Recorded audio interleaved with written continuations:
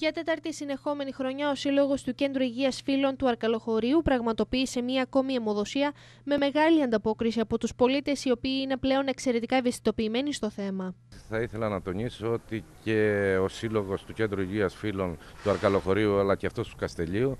αν δεν υπήρχαν έπρεπε να τους ανακαλύψουμε γιατί πραγματικά οι δράσεις τους στηρίζουν τα κέντρα υγείας με τις πολλές ελλείψεις και τα πολλά προβλήματα και προσωπικό και σε ηλεκτροτεχνική υποδομή έχουν βρει τους συμπαραστάτες στο πρόσωπο των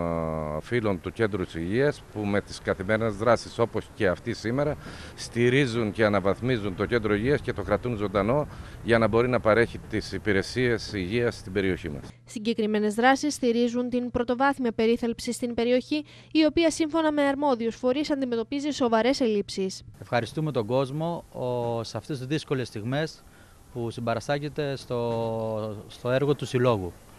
Ο, με τη βοήθειά του αγοράζουμε οτιδήποτε χρειάζεται το κέντρο υγείας, ιδίως σε αυτές τις δύσκολες ώρες που δεν υπάρχει χρηματοδότηση από το κεντρικό κράτος. Ο Σύλλογος με τη βοήθεια του κόσμου βοηθά το κέντρο υγείας έτσι ώστε να είναι άρτια εξοπλισμένο από μηχανήματα και ανθρώπινο δυναμικό έτσι ώστε να παρέχει τις ε, υπηρεσίες ε, στην ευρύτερη περιοχή του Αρκαλοχωρίου.